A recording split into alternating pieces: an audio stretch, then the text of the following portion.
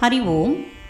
Today we will learn Saundarya Lahari from Shloka 46 to 50 in the Ragam Saveri.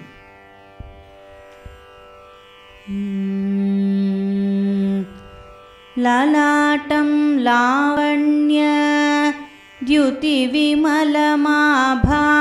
तव यत् द्वितीयं तन्मन्ये मकुटघटितं चन्द्रशकलं विपर्यासन्न्यासात् उभयमपि सम्भूय च मितः सुदालेपस्यूतिः परिणमतिराकाहिमकरः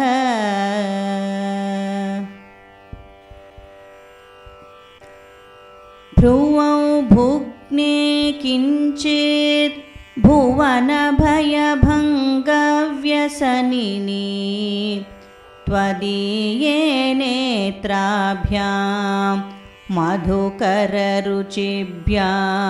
तृणं धनुर्मन्ये सव्ये तरकरगृहीतं रतिपते प्रकोष्ठे मुष्टौ च स्थगयत निगूढान्तरान्तरमुमे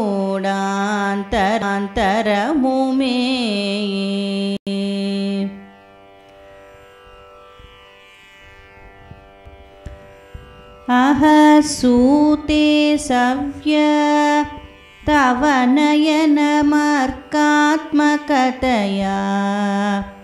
नयनमर्कात्मकतया त्रियामां वामं ते सृजति रजनी नायकतया तृतीया ते दृष्टिर्दरदलितहेमाम्बुजरुचिः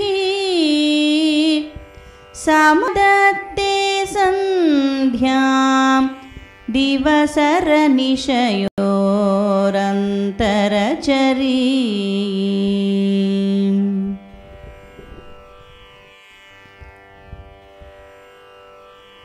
विशाला कल्याणी स्फुतरुचिरयोध्याकुवलयै कृपाधाराधारा।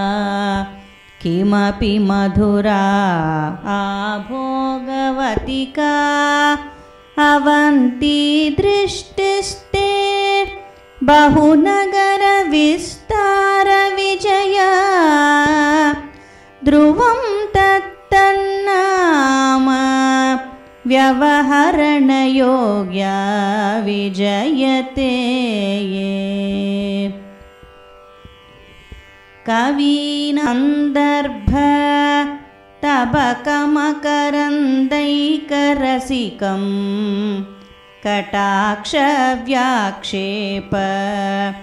भ्रमरकलभौ कर्णयुगलम् अमुञ्चन्तौ दृष्ट्वा तव नवरसास्वादतरलौ असूयासंसर्गात् दलिकनयनं किञ्चिदरुणम्